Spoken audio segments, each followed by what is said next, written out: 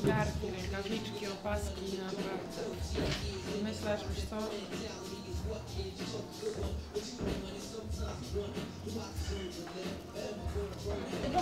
Następny gość.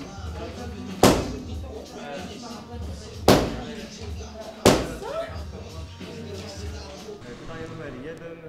Z doświadczenia powiedz, jak najlepiej sobie radzić po takich spotkaniach, jak po tym super. A o jakim mówimy, bo ja nie pamiętam. Wyparłam dawno, zdecydowanie.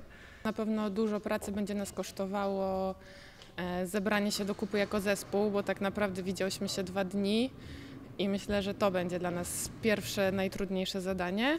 Oczywiście przeciwnikami, rywalami będziemy się zajmować, ale chyba naprawdę musimy się zająć sobą na początek. Zresztą ten mecz, o którym nie pamiętam, już e, właśnie to pokazał, że przede wszystkim praca nad sobą.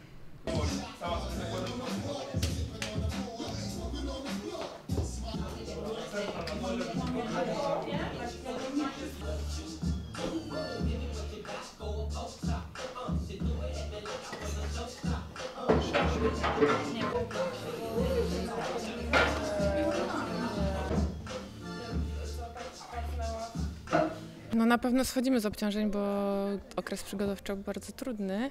Natomiast był to długi tydzień mimo wszystko. Ale do niedzieli jeszcze trochę czasu, więc myślę, że będzie świeżość prawie.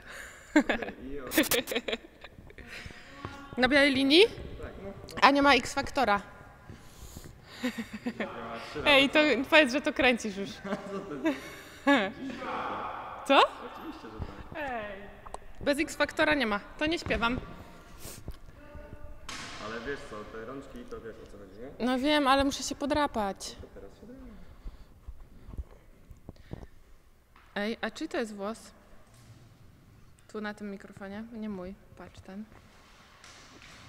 Twój?